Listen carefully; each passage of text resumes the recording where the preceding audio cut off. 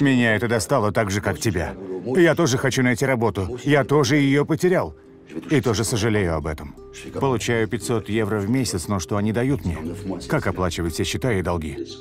А вы согласитесь занять должность ниже той, что у вас была на предыдущем предприятии? Да, думаю, что да. Вы думаете или вы уверены? Вы не рассматривали вопрос продажи квартиры? Да, но нет. Нет? Почему? Получится, что все наши предыдущие усилия были напрасными. Наводишь на кассирш, увеличиваешь изображение, чтобы проверить, сканируют ли они все товары. Учитывая, что мало народу предпенсионного возраста, он пытается увольнять персонал.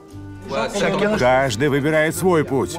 Я считаю, что ради моего душевного здоровья мне лучше слезть с поезда и заняться чем-то другим. Разве это означает, что я трус? Итак, что происходит?